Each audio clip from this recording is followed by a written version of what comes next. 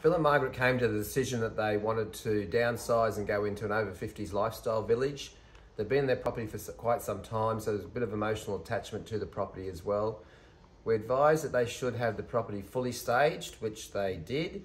Uh, we also advised them they should have the property marketed with the premier package of marketing that we offer, which they also did. We achieved an outstanding result for them, which was above their expectations. This is what Phil and Margaret had to say.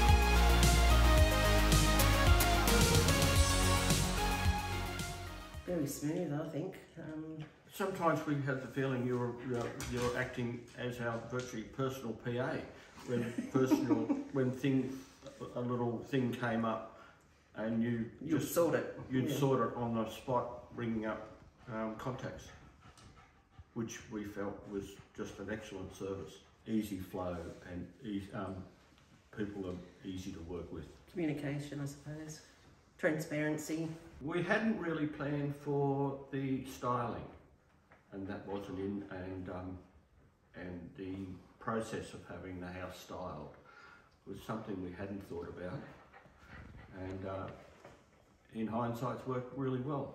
I think it's worked out well. The price is good, and I think the timing now, even though it's been a process to get to today, but the timing's working for us as well. So it's all good. The longer settlement, we're happy with the price. We've made enough to uh, cover our toys, our new car, caravan. um, we will have some cash in the bank. Uh, so we are, yeah, we're happy, really happy.